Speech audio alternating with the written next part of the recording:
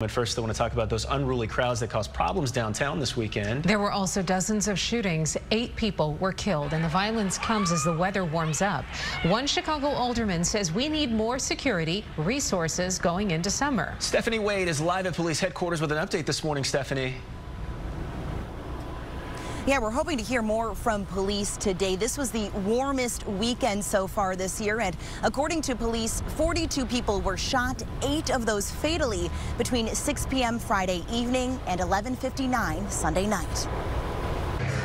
Of the 42 people shot across Chicago this weekend, their ages range from 16 to 65. And while the shootings happened in different parts of town, in River North, where there's been a lot of concern about crime recently, a man in his 20s was among those critically wounded following an incident on West Hubbard Street around 10 p.m. Saturday. The number of illegal weapons on the street has never been higher. Um, and when you combine that with alcohol, with fighting and conflict, um, you have all the all the ingredients there um, for a, a violent weekend. It was also a chaotic scene in the Loop where large groups of teens were gathering near Millennium Park.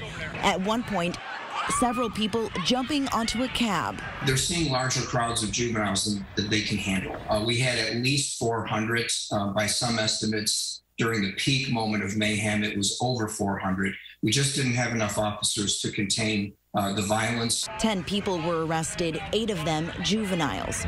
Alderman Brian Hopkins says we need to crack down on crime ahead of summer and have more officers on the street. We've been talking about this for two months. We knew the warm weather was coming, and so there was no shock in terms of what happened. Uh, it was just a, a lack of resources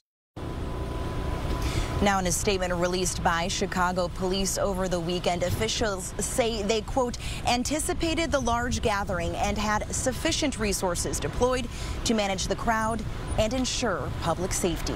Terrell, back to you. Stephanie Wade at police headquarters. Stephanie, thank you so much. There were a pair of crashes